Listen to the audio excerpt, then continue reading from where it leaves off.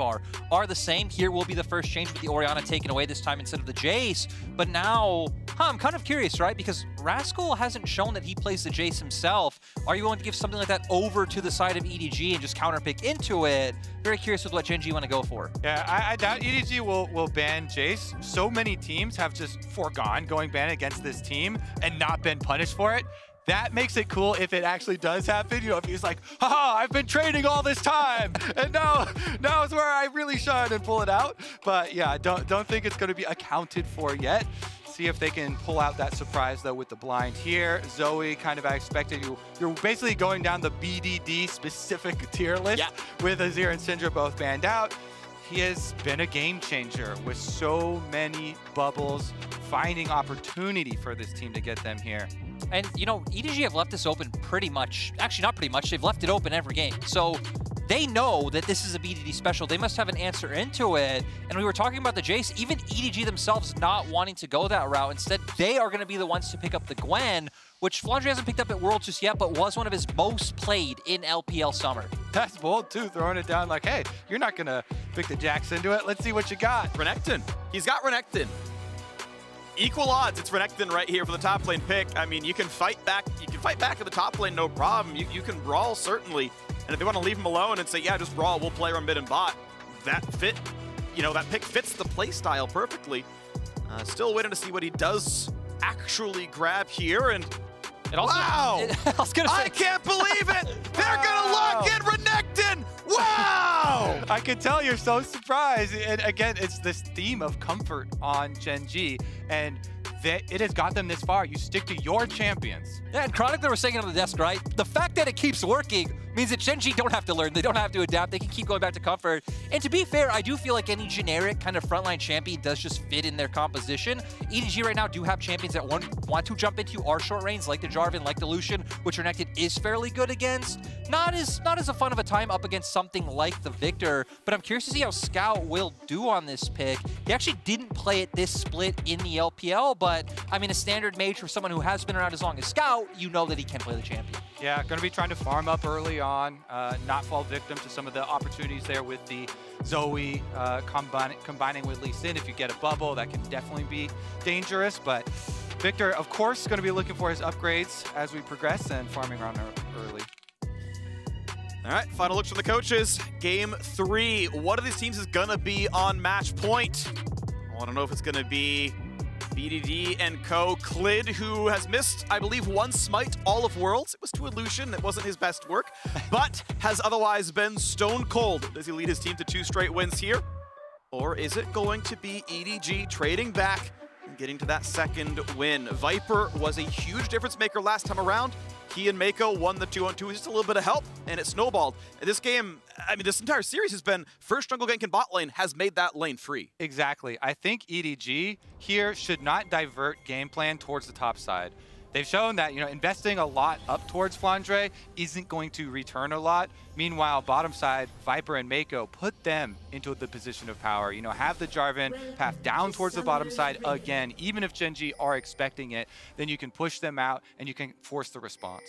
Yeah, and I think for EDG's bot lane, Vedius was sitting on it a lot on the desk about how when you set them behind, EDG looks so lost. I think a big part of that is that Meiko is the shot caller for EDG. EDG do release a lot of videos on their social media platforms, and you can see in-game comms, Meiko is one of the biggest voices on the team and really dictating the pace of the game. So if he is set behind, especially with Viper, that voice can be lost. Thing is, your boy Flandre is taking the Ignite on top side with Gwen, so he's got the extra damage for the all-in, and that does attract extra jungle attention. So he's definitely going to look to throw down. The E-start on Gwen is very, very difficult for anybody to fight, even with the uh, nerfs to it. So Rascal backs off, not going to take any early damage there, concedes a try. I feel like for EDG, though, it's fine if they want to put some early attention into Flandre. It feels like that's what they've done, at least somewhat consistently. But then I feel like after you get Flandre ahead, it's about pivoting down towards the bottom side. Yeah, and they didn't do a whole lot with all the lead Flandre got in the last game. So that is the key. You know, can they actually gain the value of it? Because, again, with Ignite, you know, that is putting so much more pressure on the lane. EDG on the bottom side, though, this is where it all happened. All the magic for EDG in game number one was off this success. See if they can Meiko repeat. uh, actually gets a three-hit trade. That's actually pretty well done. So gets the execute off, gets the W to go on two targets, and get the autos as they are just fighting desperately for level two. Definitely EDG getting uh, more minion damage early on. A nice little W bounce there as well. But careful, Meiko doesn't have a ton of self-sustain as he chugs through his first potion. And of course, you know, both junglers starting on top side quadrants mean they will end up down here. So these trades are incredibly important. Forcing out a summoner spell early on by yourself in the bottom lane gives you that opportunity. Now, there are wards in the river and by Raptor right now for Gen G trying to watch for what they're expecting. The Jarvan gank towards bottom, that's what had the big influence in game number one. And so they've got wards up, they're they're looking for it, they get a little ping there. I feel like the scary thing is, right, when all the focus on the bot side, you also have to factor in the mid laners. Because Gen G taking the Zoe, of course, against the Viktor, BDD is going to have pretty consistent pressure in this mid lane matchup. And that's what I'm afraid of for EDG, is the mid jungle duo coming out from Clid and BDD to maintain pressure and consistently hover around bot side. Heck, even Scouts Immobile, you can set up picks for BDD to pop off like he's done so many times at World so far. Yeah, he knows this champion like the back of his hand, uses the proto belt to get in front of the gravity field there, going for the excessive trade. Very deep, good deep ward here. I always love when top laners do this when you have the push, ward the Krug so you can get the extra information for your jungler. Process of elimination. I can see bottom Scuttle Crab spawning there, so JJ comes top for the top one. Get a top lane fight right now. Of course, Flandre's Q on cooldown means Rascal can take the entire trade. Not a problem here as uh, they battle back and forth. The first wave was, I believe, a 4 CS lead for Flandre as he got the first crash. At the end of this wave gives you level 4 for just a moment, and it will mostly go into the turret to fight it. A small CS lead, though, for BDD. He's so far winning the mid lane as well. Uh, Clid probably was known to be on the bottom side based on that, that uh, Krug ward. Ultimately, it's still going to be a trade of Scuttle Crabs, and Jiejie on his way down now to grab his own Krugs. Looks like the Lee Sin left more camps up. He's actually down a camp right now, so uh, faster farming for EDG. So far in the series, Jiejie, for the most part, has been down in farm, and so kind of cool to see him actually up in this game. Yeah, that's very signature for the way JJ and EG plays. That JJ does spend a lot more time at least hovering around his lanes and making sure that they are fine. This time around, not going for any shenanigans. He knows his lanes are a lot more about scaling. Even now, I like that he saved his Krugs for last for a time where Clid potentially could have been looking to make a bot side play. You saw even the way BDD was playing his lane, consistently hovering towards the bottom side, which puts a lot of fear in both Viper and Meiko about potential roams that can come. But Clid's been very adaptable, like we saw in the last game. This time might punish Flandre. Yeah, if Flandre is at least pretty healthy, here comes the first TP. This is going to be a 3v1. Okay, how many reinforcements do you have? Because it's going to be the follow-through. The stun's going to land, the Q to follow. They've got everybody here, and First Blood comes in. BDD claims 400 gold. And it's all about the setup there. Great punish on the pushing minion wave. You know Flandre is going to want to put it in. He's got this Ignite, the, the greedier summoner for top side. No flash, teleports back in. They instantly kill him. And when you die after teleporting back to lane on a top laner, especially an Ignite top laner, that is Yeah. head in hands. Oh no, I have sinned, and it is going to be pain. And I feel like Gwen, especially when she falls behind, it can be very awkward and very hard to find opportunities to come into game in skirmishes or in team fights. You always find a lot of use coming out from your W. Is a lot of trading in bot lane, Kobe. They're going to trades with Ignite. Yeah, getting pretty low. 100 health on a Viper. Flash follow, and life brings death. The Guardian shield will still tick down with Ignite. Meiko trades one back.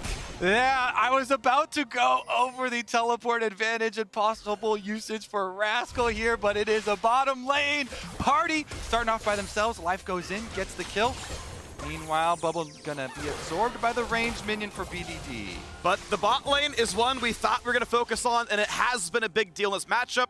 Our feature matchup presented by Mercedes-Benz, Viper, and Ruler. I mean, they've been such big parts of both their team successes, and this year, and for Ruler, uh, the last several, his entire pro career has been on the, the Gen G lineage, and, you know, a trade of kills here in the bottom lane. Yeah, and we're going to go straight into the replay. Really to see Gen G come back, but Viper's still looking for these aggressive trades. Gets the buff up from the Nami to hit the Q. Bubble does come out, but Life doing so much damage. Viper also took a ton of minion damage for the fact that he did just uh, dash in. I love that Life realizes he can finish this off by flashing in to finish the kill. Meiko does get a return, and both kills end up going towards supports, but I think the, the minion wave in a position where uh, Ruler would have been able to catch it on the way back, so I feel like it was a bit advantageous for the side of Gen G. the bloodthirsty support gameplay, both of them flashing in for the kills. But again, all the summoners being blown on bottom side draws all of the extra attention. Junglers start to congregate. You're looking at still teleport advantage for Rascal on top side because of the previous play where BDD invested his over to try and punish Flandre. It's about can Rascal utilize his to get an advantage for Gen G in comparison to Scout, who uh, you know kind of trades it there in the advantage as BDD used his to go for the gank in the first place. It's going to be really interesting to see how EDG want to navigate this one, right? Because it, it really does feel like bot side should be their focus. Scout not going to have really any impact in this game for quite a while. Viktor is pretty strong in isolated 1v1 laning phases, but doesn't offer too much burst in terms of any early game skirmishing. So for Gen I still feel like they're they're pretty favored to at least try and recreate the blueprint that they had from last game. It feels like EDG looked at this series, okay, we know Gen G of the Solar mid-game. They've opted into scaling every game so far, but Gen G are saying, hey, we don't only need to, to do that. We can just snowball early and look to out-skirmish you and end the game before you can do anything. Yeah, Gen G very happy that it's going so much better this time around with the bottom lane specifically with Ruler not being 0-3 uh, already at this point with all the all-ins and then having the actual answer there. Still is going to be another look at uh, Clid, who just finishes up his red buff and is going to be able to recall now to transition over. Dragon is ready and bottom lane pushing for EDG. Might be their opportunity. Yeah, quick nap, but no Quillins to follow through, so all right, not a big problem. CS going to be in BDD's favor to the tune of about eight. As we have the recalls coming through, Scout with the teleport available, easy lost chapter. Might be back in soon. We'll see if there's going to be any top pressure, but Flandre just slowly taking his deficit under Rascal. TP back to the top side. It's eight minutes into. That means it's Herald time and EDG are here. That takes a long time to burn down, though, so there's plenty of time for Gen G to walk over, and they're going to be looking for the five on five. Jumps in. Will he be an easy target? Looks like no, as it was a blast plant, so you can always ward hop back away. Now it's a full five on five available. Gonna test. Renekton has already shoved the wave into the turret, so a bit of farm actually being lost by Flandre here. 3k health on the Herald. Gonna pop it down to 2,000. Smite fight gonna be in pretty soon. Jiejie gonna miss his first engage. Clid finds the kick, and they're gonna find that first kill. Gets the Smite, no problem. 5v4, Gen G came to play. Gen G came to conquer. And that was just so weird coming out for EDG, in my opinion. Jiejie jumping in after Flandre gets bubbled, so really no follow-up from the side of EDG allows for an easy pick for Gen G to turn the rest of the fight. That was disgustingly one-sided right there. As soon as flag and drag forward and BDD lands this bubble, what are you doing coming at me in a straight line?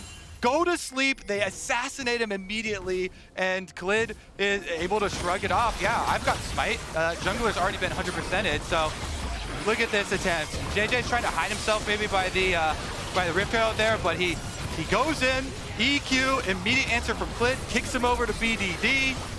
They get off the kill, he lands the smite, and Rascal's in position for the flank too. Yep, and in our action replay, Clid lands everything he needs to do. Gets it, you know, gets the kill the enemy jungler. All right, now it's low enough to grab the smite, and it's everything Gen G so far in the last two games. You get polymorphed, you get kicked. It's that is just rough. Even Rask on the opposite side of the fight. I mean, Pop's dominance and, and EDG have to worry about this collapse coming from both sides, so no one can follow up the flag and drag from JJ. And overall, just really nice posturing coming out from Gen G. They were in unison with that play. And once again, 2,000 gold lead at the 10-minute mark for Gen G. So hard to initiate. As soon as one of your teammates gets slept like that, knowing you're not going to be able to you know, have any sort of bite behind it. Gen G, though, this Look feels... I mean, and, and they know the read, but the problem is the wave is going to go towards EDG. It is going to be farm bled out. Viper says, yeah, I was sitting in this brush. Mate goes, yeah, I'm sitting in this brush. And you're just going to wait around, you know? It's like, all right, if you show up, but nope.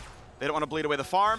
They're going to go ahead and just like slow push the turret. And Gen G make the right choice to sacrifice three melee minions, but not be ganked. Yeah, I, I just am so curious how much EDG are, are putting into this play, feeling like they're falling behind and need to find something somewhere. Jiejie now here for about one minute, finally starting to channel his recall. Really good respect coming out from the side of Gen G, while Clid is just champing through his jungle, farming his camps. Jiejie now going to be a bit behind in terms of tempo.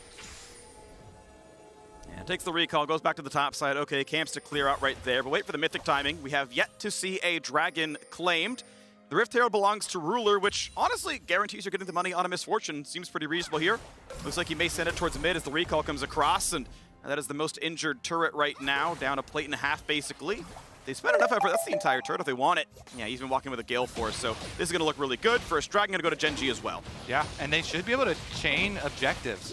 They've gained so much. When they have this Zoe pick for BDD, they'll love to go just set up at it early and then throw bubbles. As soon as one lands, you know, the enemy team's trying to dodge this whole time, but all you need is just one of them to hit and give you an opening. And they get rewarded again. This one picked up as well. Top side hovering from JJ isn't going to get a lot quite yet. And they're not going to find anything following either. Ooh, Gen G. Oh, he lands the bubble. Possible play, lands the Q. Do they go for any more? I think if that Q had landed, but now Flandre wants in. Ult and Ignite gets the ulti back, a flash out of Rascal. And you got to auto in between those ult charges, so he has to turn around to the minion wave, and Rascal, last ult charge, will not quite kill, but it forces the ulti out in case there was a dive. Look at this rotation, though, too, on the mini-map. Clid coming up. Okay, it gets kicked into the wall, a good dodge away with Flandre. Carefully, Rascal will show up, the slow's gonna be decent.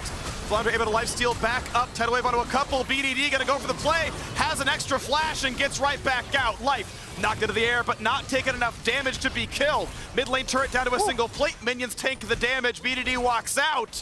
A kill in the mid lane means Gen G grow the lead. And Gen G just rotating around the map so well. They get Dragon posture towards mid, which gives them pressure. Clid can go answer up in top side, which allows their bot lane to follow up on mid. So really nice sequence of events coming out from Gen G. And we saw in the mid fight that EDG really didn't have the damage to match. Scout's damage output nowhere near what BDD does. And even BDD and Ruler both have a mythic advantage on their counterparts on EDG. Yeah, again, it is Gen G looking to leverage more opportunities for themselves, actually prying the hands open. They move bottom lane up to mid, as you say, so make this Rift Herald play mid. The only payment Viper got uh, was one extra wave and I believe one turret plate during that mining, and so much more for Gen G. So again, they had early chunks on Scout. They're trying to take away, chip away at some of his potion use using the Rift Herald, and JJ's the one to start it out with the Cataclysm into the Chaos Storm, but flashes there for Gen G. BDD's able to find that punishment, and they couldn't finish off life either as he was pinned towards the extra, uh, the end of the wall here.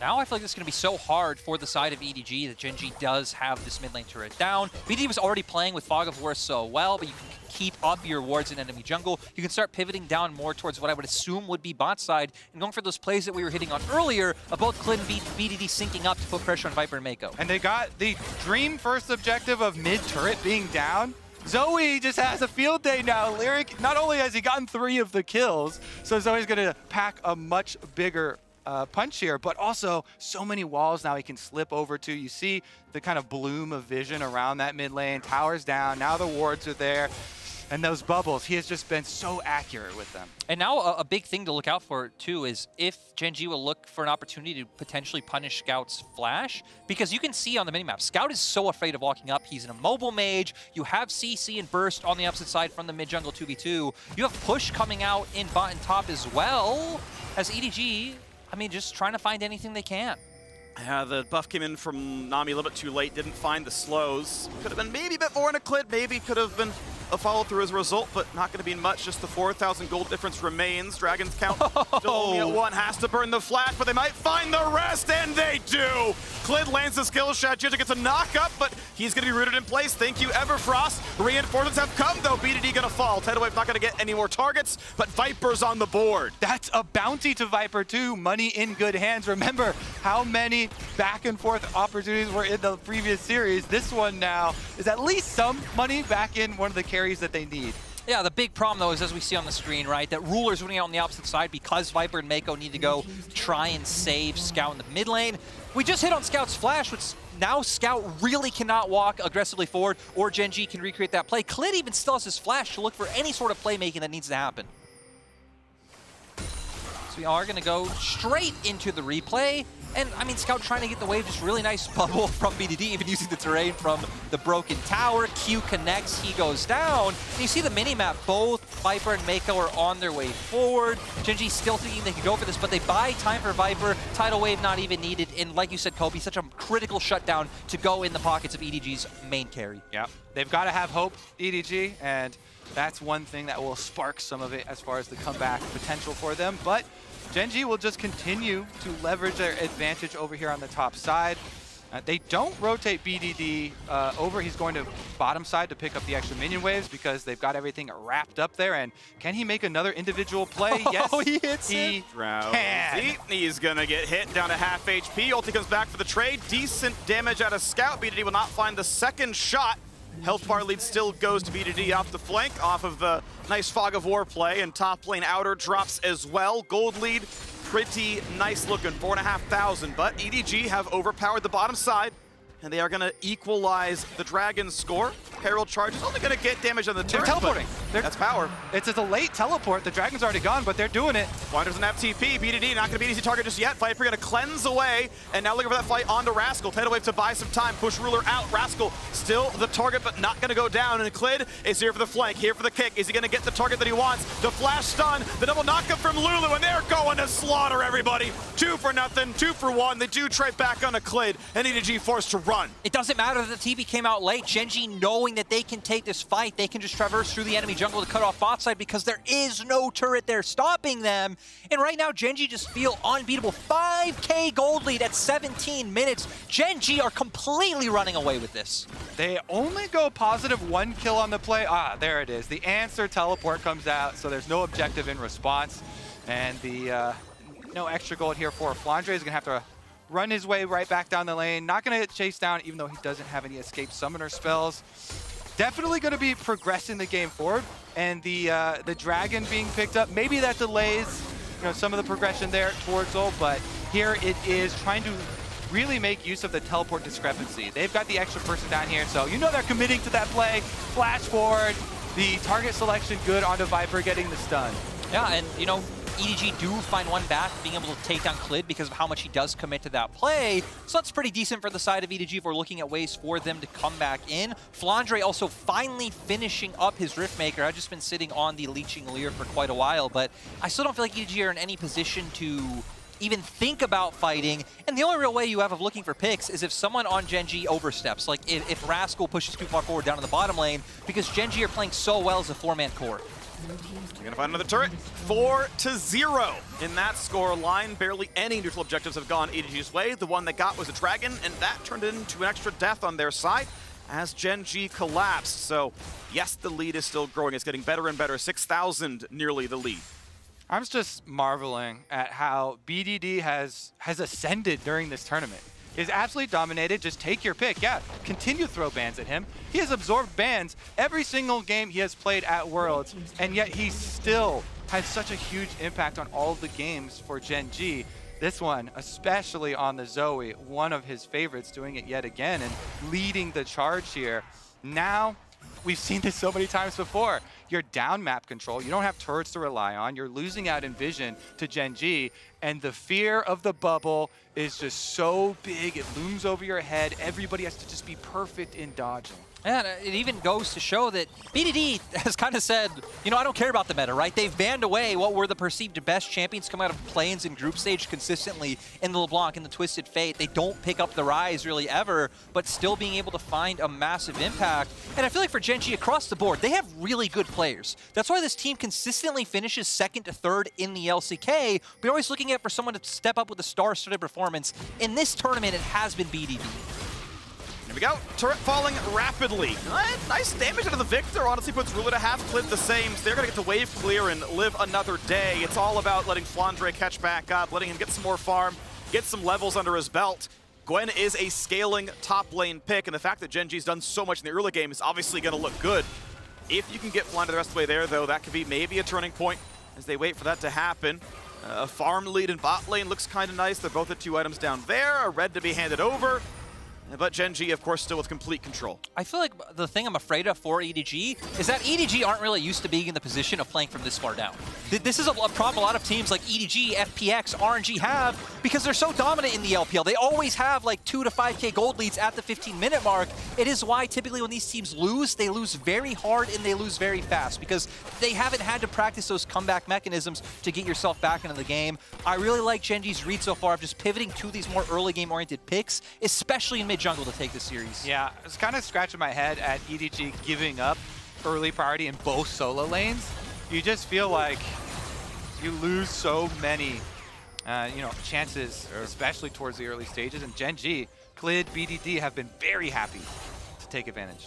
A nice attempt there. Dash, Gale Force, get the Nami buff. Nah, sorry, bud. Life's nearby. Pops the Shurelya's, out you go. And they're going to be just fine to walk away, and there's no aggressive play yet for Viper.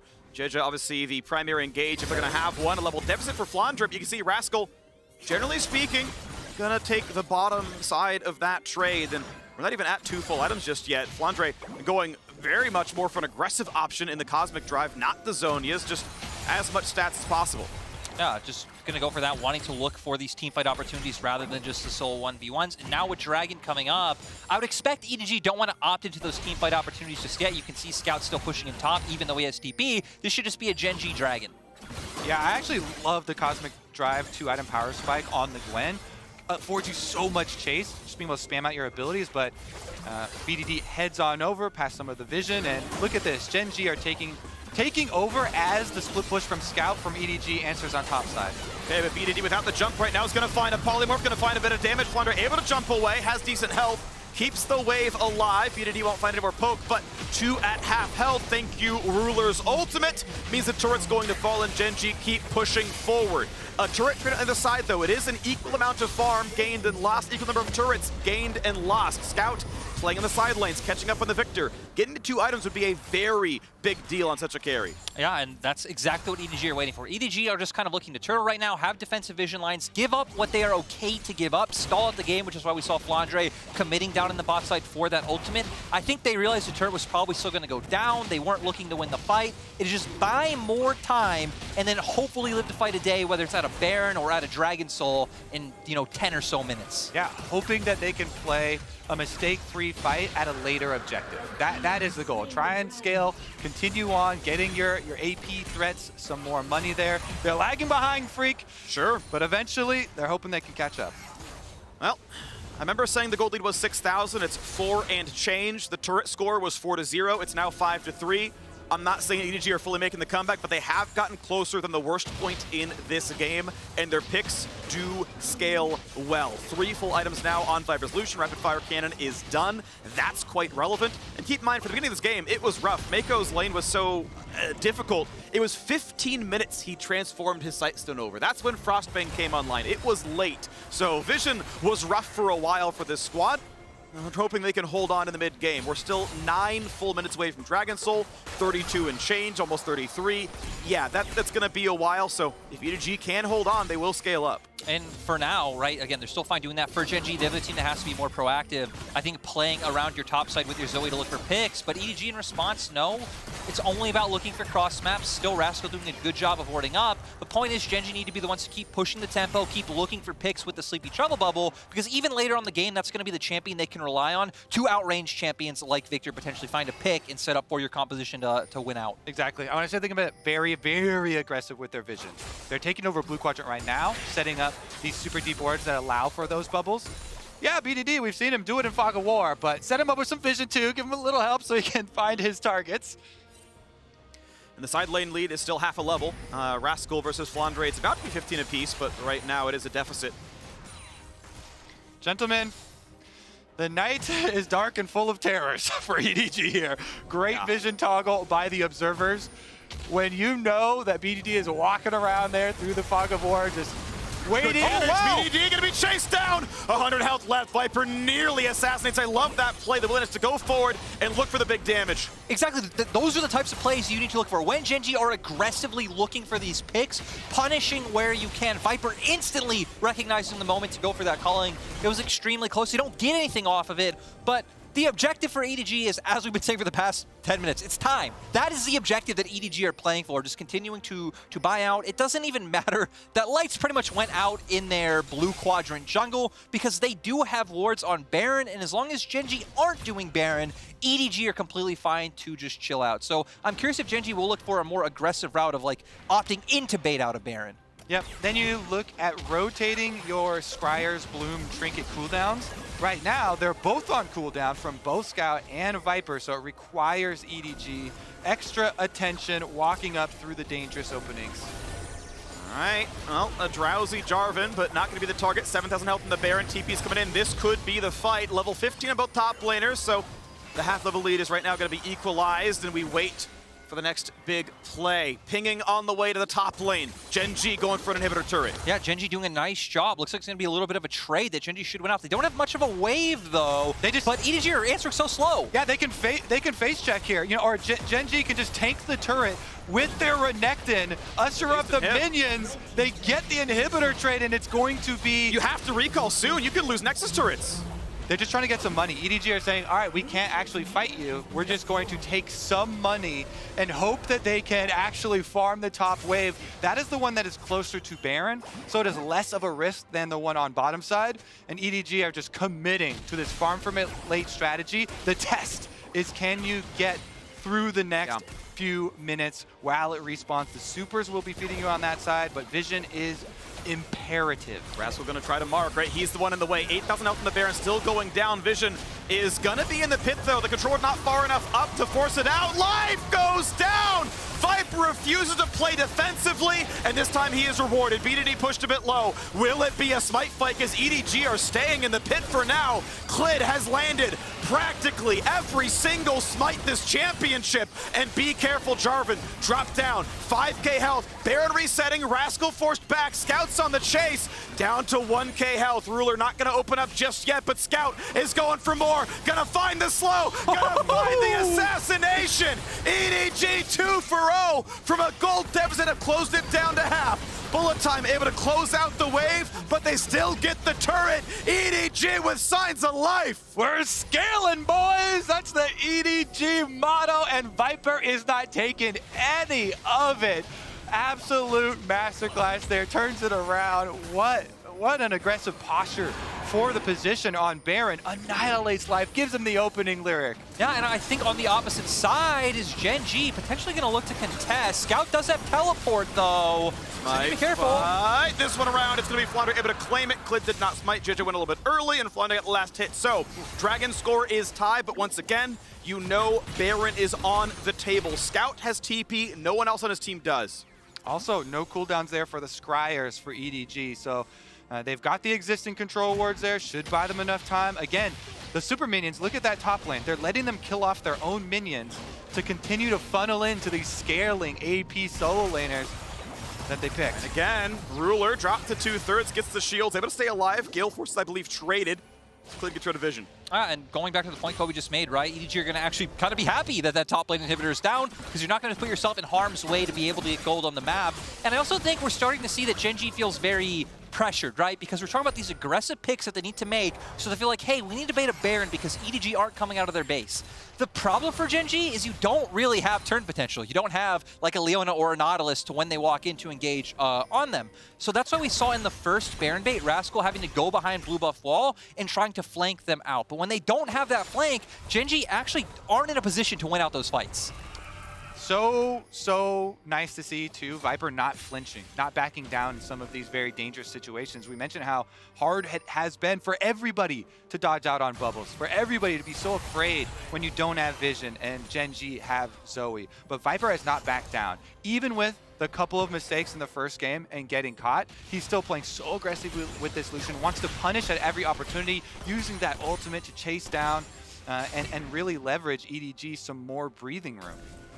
Uh, so far, really good job coming out from Viper. He's been like the large playmaker to where it feels like Scout has just been more of the backbone damage being willing to come through. For the side of Gen G, it does feel like it still has mostly just been the BDD and Clid show, even in this series, setting them up for success. Sure. Ruler, I think, definitely having a, a solid game so far, but still not, not seeing that playmaking potential or the pick potential needed to come out. For Gen G, it seems like now they're a bit scared, they're a bit shy. Clid! Huge damage, has a ward that'll hop away, but you can see Viper always wants in. He's on Infinity Edge fourth. He's leaving the boots at tier one. He's going for the damage and the crit chance, and he's pushing people around. He certainly is. He's pushing them all over Summoner's Rift. Fear the name as soon as he dashes in with that confidence. Such big health leads. And again, EDG leave the top wave alone. It kills off theirs, pushes right in. Someone goes to collect. And they haven't lost a lick of Nexus turret health. It's just been the gold income. Yes, it's going to be harder to push out of the map. Yeah, it's going to be harder to push forward when you are back in your base so often, but it is money going only one way. They're playing the econ game so well.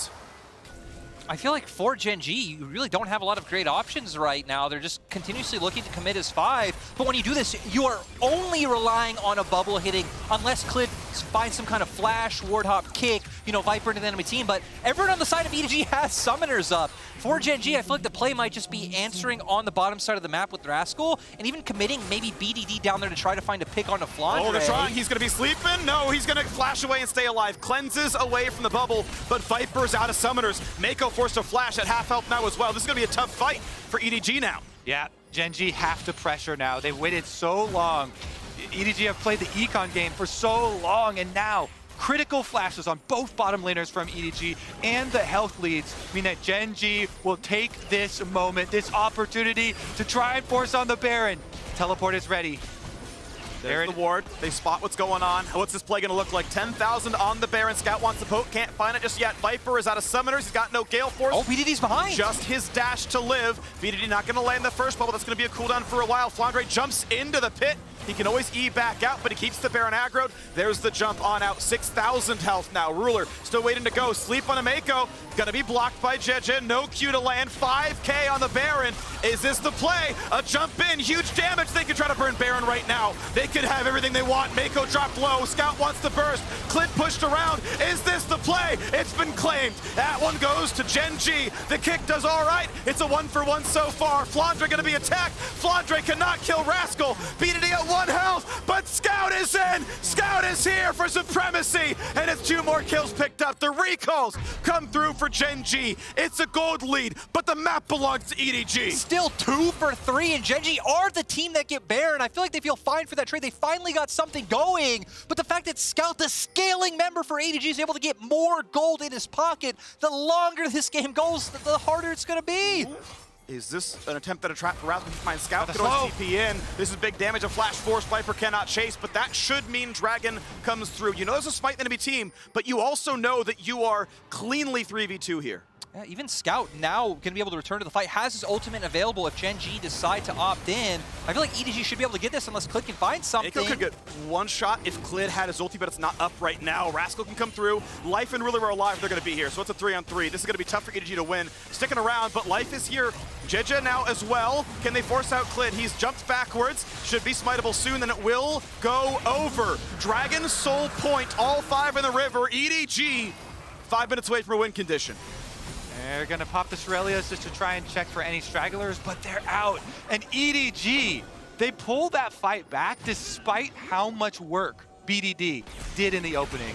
You know, he uh, annihilated the backline He there. hit so many bubbles. He hit so many bubbles. He took out Jiejie to 10%. Thought it was going to be just all she wrote after the jungler so heavily chunked out, chunking out on the support as well. And yet, the carries there for EDG pull back the fight. They still get something. They get the Dragon Soul point for themselves and still can play the econ game. Here, look at all this damage from BD. It's actually insane. On the jungler too, a priority target. Then on Meiko, they're so low.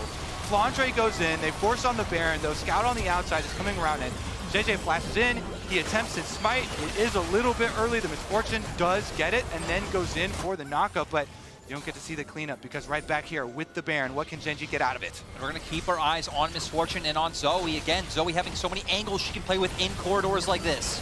Gonna find just yet, but there's gonna be a turret down to the bottom lane. Flandre in for a bunch of damage, drops Rascal well below half. And BDD, BDD, you oh. poked, and you got poked back. You were flashed down and jumped to the opposing team. A recall out from Rascal, but that is just a clean pick for EDG. Yeah, mistake coming out from BDD. I mean, he has done so much heavy lifting at this Worlds. I feel like he's allowed a few mistakes, but in these crucial moments, it's giving EDG life back in the game. Now, not even 2,000 gold down to Gen G, when earlier on, Phreak, you were hitting on that it was about 6K. Yep. I do feel like this whole sequence of events started off with an EDG mistake of like the face check from Viper. Gen G then played around the mistakes well, but I feel like we're at a point now where the damage coming out from Flandre and Scout is just so massive. The second ult I've seen from Ruler to completely wave clear, and it's useful. It definitely buys them time, but EDG have control right now. Yeah, that wave actually syncs up with the timer from BDD.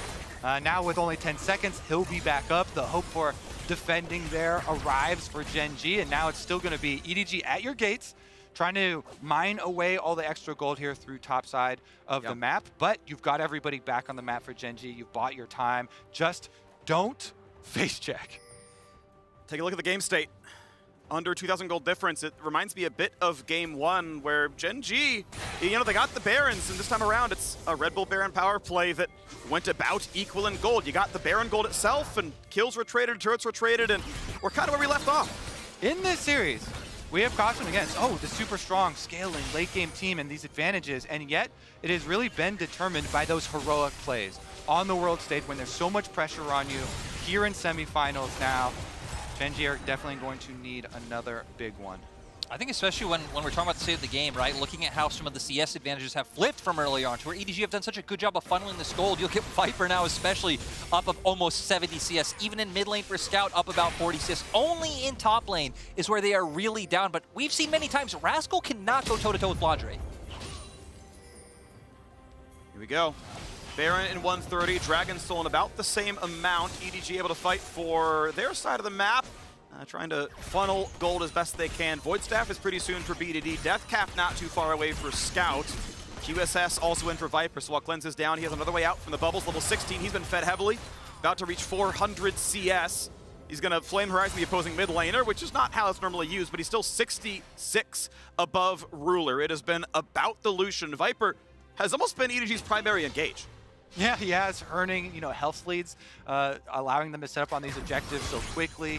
A lot of big chunks from him. Despite that, though, Gen G still with the overall gold lead and uh, a lot of punch packed behind any of these bubbles. Of course, they're looking to play off of uh, any sort of pick that they can get. The problem is that EDG have done so well playing the econ game that they've actually stabilized and be able to retake control of their own jungle uh, and actually have the time now to set up. 50 seconds left on the arrival of the Soul Dragon for them.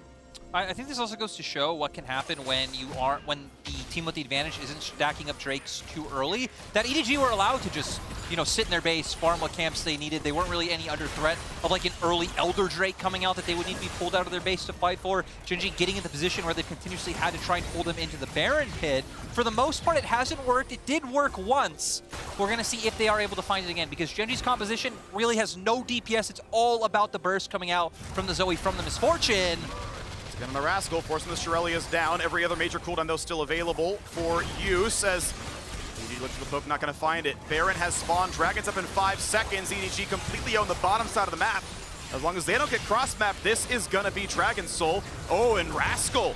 Yeah, okay, he's got a Guardian Angel, but that is life's ultimate down. That's 1,000 health left for the Renekton. And Flandre is hitting the Cloud Drake. Dragon Soul is going to be claimed. The surge of movement speed going to be valuable. Life poke down to 1k. Scout run around, a lot of move speed. And uh-oh, Rascal's got a flank play. Rascal's got his ulti popped. Rascal's gonna go in for this one. Bullets oh, the scout, and they delayed two.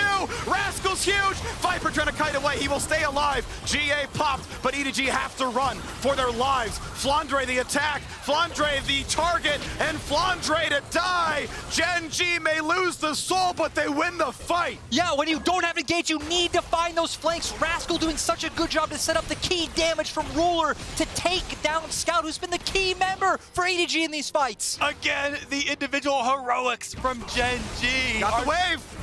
That's the big thing. He dunked, it deals AoE, he EQs out, and he's running at Mach 3. Thank you, Cloud Soul, but here's the new wave. This one will mean a turret, and they gotta buy 30 seconds. 20 for Scout, 10 for Meiko, 30 for Flandre. Yeah, they got the wave, but there's another one right behind it, and Gen G are gonna usher this one into the Nexus turrets. Viper ult on, gets away from the bubble. They gotta fight for this wave. Gen G is gonna do his very best to knock it up, but he should be dying for this one. Can they fight for the rest, though? Health bar's getting a little bit low. Tidal wave to clear out the wave as best it can. He's drowsy. He will be dropping. The kick kick back. Viper barely lives. One turret down. Second one gone as well, but Scout is here. Is it going to be enough? Will they get the Nexus? Viper's in for two, but Ruler to knock down the Nexus. Gen G, two to one. And Gen G were not favored coming into today's series, now sitting on match point finding the early game leads, but it was all about that one pivotal flank coming out from Rascal to bring it back.